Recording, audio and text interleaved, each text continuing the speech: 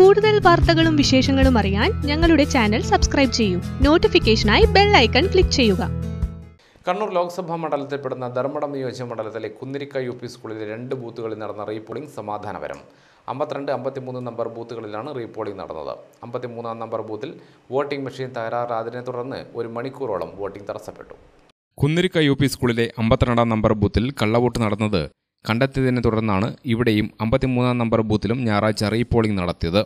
കനത്ത സുരക്ഷയിലാണ് ഇവിടെ വോട്ടെടുപ്പ് നടന്നത്. തലശ്ശേരി എസ് പി അരവിന്ദ് സുകുമാർ രാവിലെ മുതൽ സ്ഥലത്ത് ക്യാമ്പ് ചെയ്ത് സുരക്ഷയ്ക്ക് മേൽനോട്ടം വഹിച്ചു. ഇരട്ടി ഡിവൈഎസ് DYSP Saju George Koothuparamba C I B Rajendran Koothuparamba S I P Rafeeq എന്നിവർ സുരക്ഷയ്ക്ക് നേതൃത്വം നൽകി. അതേസമയം അമ്പത്തിമൂന്നാം നമ്പർ ബൂത്തിൽ വോട്ടിംഗ് മെഷീൻ തകരാറായതിനാൽ ഒരു മണിക്കൂറോളം വോട്ടിംഗ് തടസ്സപ്പെട്ടു. പുതിയ വോട്ടിംഗ് മെഷീൻ എത്തിച്ചാണ് വോട്ടിംഗ് പുനരാരംഭിച്ചത്. ഓപ്പൺ വോട്ട് നിഷേധിച്ചതിനെ തുടർന്ന് പോളിംഗ് ഏജന്റുമാരും ഉദ്യോഗസ്ഥരും തമ്മിൽ തർക്കമുണ്ടായി.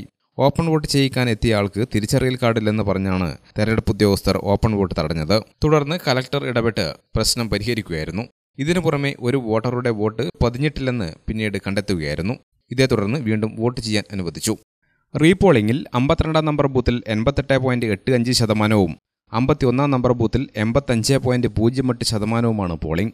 കഴിഞ്ഞ മാസം ഇരുപത്തി മൂന്നിന് നടന്ന തെരഞ്ഞെടുപ്പിൽ അമ്പത്തിരണ്ടാം നമ്പർ ബൂത്തിൽ തൊണ്ണൂറ്റൊന്ന് പോയിന്റ് മൂന്ന് രണ്ട് ശതമാനവും അമ്പത്തിമൂന്ന് നമ്പർ ബൂത്തിൽ എൺപത്തൊമ്പത് പോയിന്റ് പൂജ്യം അഞ്ച് ശതമാനവുമായിരുന്നു പോളിംഗ്.